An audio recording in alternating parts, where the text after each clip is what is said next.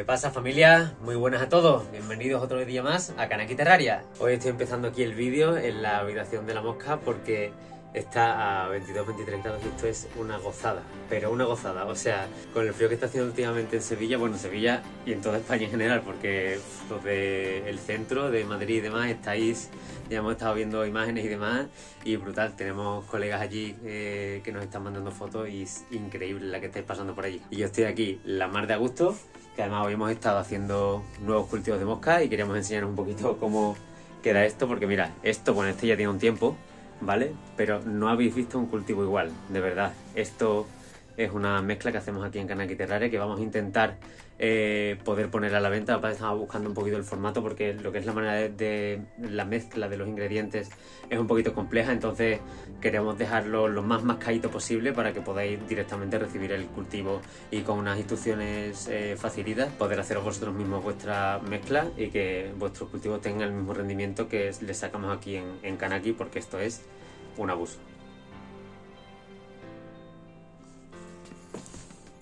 Estos de aquí abajo son cultivitos frescos que hemos hecho hoy. Y esta sería la pinta que tiene pues el cultivo recién empezando, ¿vale? Con la papilla y toda la mosca por ahí corriendo. En este caso, melanogaster sin alas. Y tenemos también estos de aquí, que esos están a punto de reventar, a puntito de reventar. Todavía no hay mucha mosca adulta, pero lo que está es todas las paredes del vaso con la pupa terminando de hacer la metamorfosis y esto dentro de nada, de aquí a 4 o 5 días, esto está que no cabe ni un adulto aquí dentro. Nada, vamos ahora para afuera, a la zona de taller, a pelarnos de frío, pero eh, os queremos enseñar todo lo que estamos haciendo hoy, porque es brutal la cantidad de pedidos que nos ha estado entrando estos días y queremos que echéis un vistazo a esto, porque mirad cómo tenemos el taller. Tenemos toda esta ristra, tenemos cereros de cristal que están en proceso de fabricación, y al mismo tiempo, pues aquí tenemos un 120-60-60, por aquí estos son de medidas un poquito especiales. Todos estos terrarios, los que tienen la perfilería en negro, eh, van para un, buen amigo nuestro, Rodrigo, de Dendroibérica. Y que sepáis que estos terrarios, terrarios con esta pinta, solamente los vais a poder encontrar en su tienda. Eh, no existen en otro sitio más, nada más que en la tienda de Rodrigo. Y no son para venta, esos son porque él los quiere así, le gustó el diseño con los perfiles en negro que la verdad es que quedan muy chulos. Nosotros no se nos había ocurrido nunca hacerlos así y cuando nos lo comentó él nos dijo, oye, pues lo podías hacer los blancos con perfiles en negro y digo, bueno, pues lo mismo me da ponerle el perfil en blanco que en negro. Y la verdad es que quedan muy chulos. Nosotros de normal no los ofrecemos así, pero si a alguien le mola de esta manera o al revés, o si los prefiere negro con perfiles en blanco, pues a nosotros, verás tú, el dinero es el mismo, ponerle un perfil de un color o de otro, así que si a alguien le gusta más con esta pinta, pues nada, pero ya le quitaría la exclusiva a Rodrigo. el problema que tenemos con estos terrarios es que como el tema de la nieve no pueden salir, porque no podemos enviarlos ahora para Madrid, así que eh, nada, pues están aquí esperando ya están terminados y estamos esperando a que la mensajería se los pueda llevar. Por otra parte, tenemos aquí este otro bloque, un bloque precioso, la verdad, espectacular. Son todos terrarios de 50, 50, 60, hay 6 y luego tenemos otros dos de 100 por 30 por 30, que en total te hacen un conjunto de 2 metros por 1,20 por eh, 50 de profundo. Y la verdad es que también quedan espectaculares.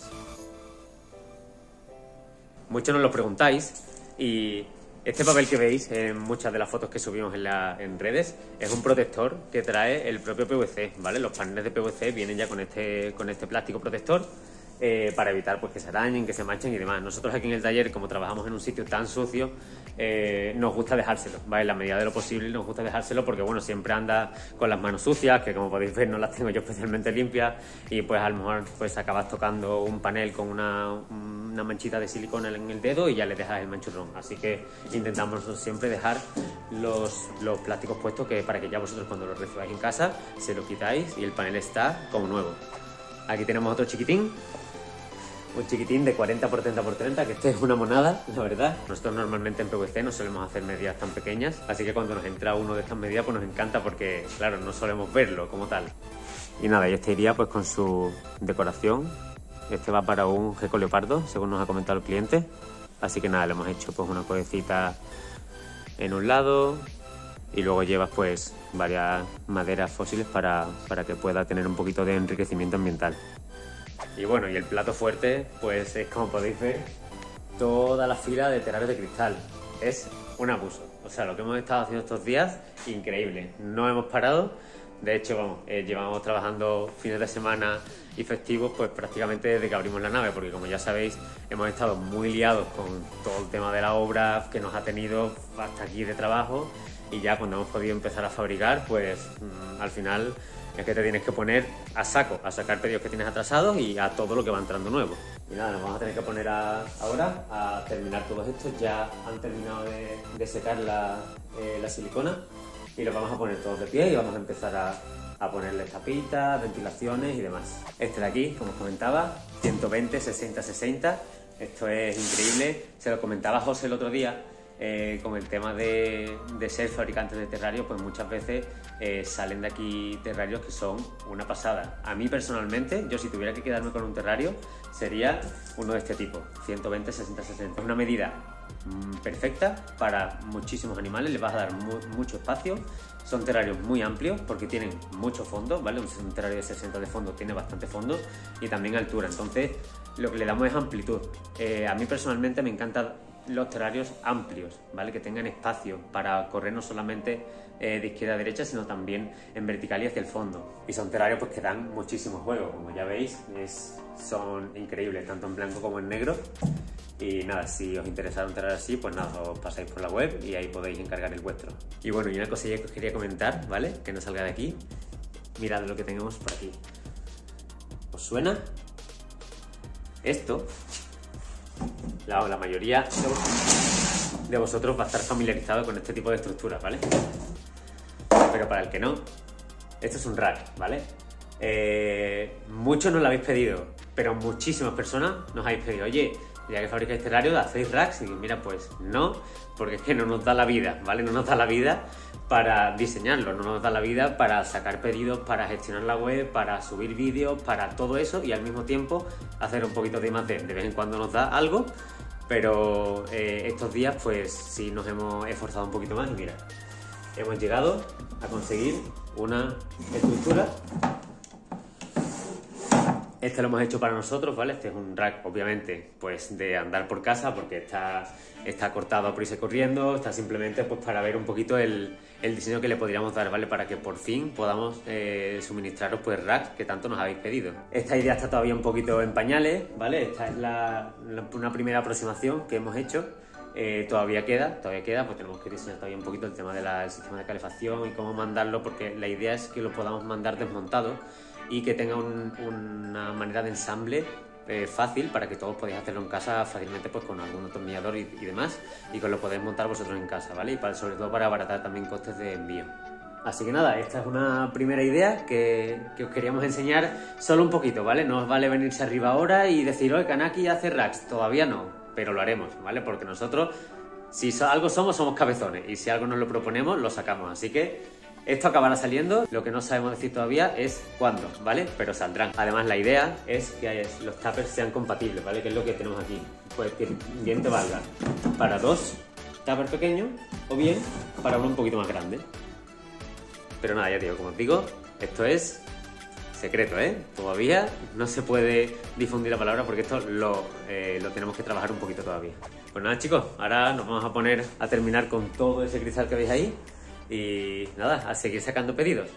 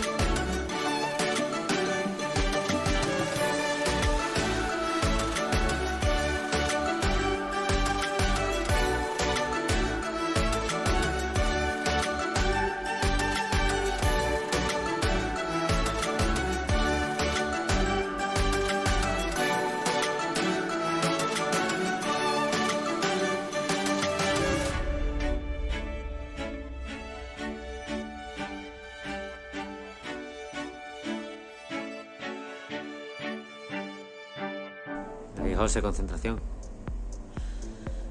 No queda otra. Hala.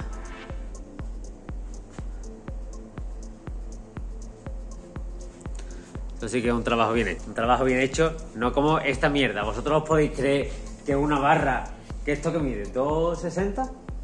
¿Esto son 2,60? Una barra, 2 metros, y me viene esta puta pegatina en todo el medio, macho. Pero en todo el medio. Yo mira la pegatina. Mira esta pegatina, cómo se quita.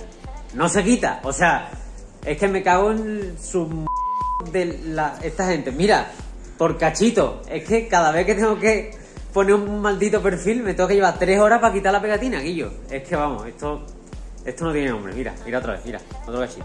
Mira, otro cachito. Esto es, eh, esto es indigno, esto es indigno. Que yo tenga que perder mi tiempo en quitar la pegatina esta es indigno.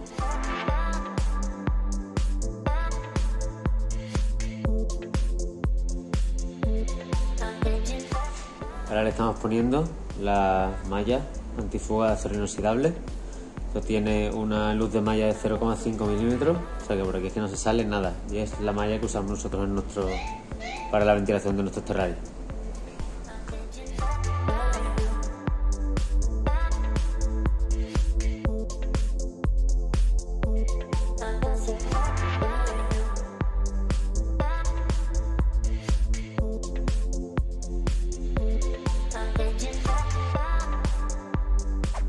Chicos, estaba aquí liado con las ventilaciones de los terrarios, pero me acaba de pegar un grito José para que suba por arriba, así que creo que hay sorpresita.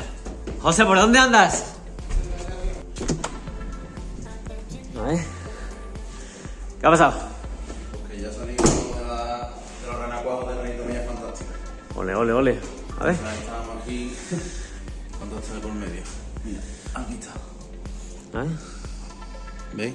Ya ha salido Mira el tío, ya está fuera. del huevo. Y ahora hay que pasarlo ya a su paso con, con agua. Muy bien. Hemos preparado el agua, ya tenemos preparado agua mineral en este caso, porque como no teníamos aquí agua filtrada, hemos puesto agua mineral. Eh, la hemos dejado un tiempo con una hojita de roble para que genere tanino y ahora ya vamos a meter directamente el renacuajo para adentro. Ahora solamente vamos a coger renacuajo con mucho cuidado.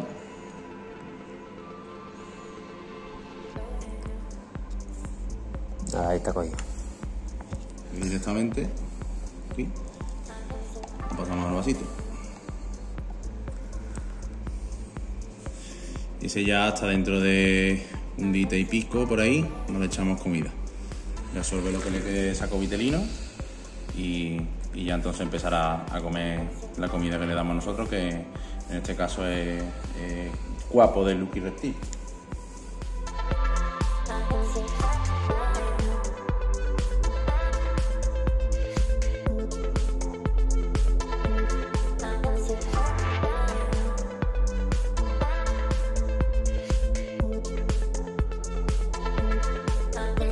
Ya con esta sorpresita terminamos el vídeo por hoy, ¿vale? Así que nada, nos vemos en la próxima. Hasta la próxima. Hasta luego. Adiós.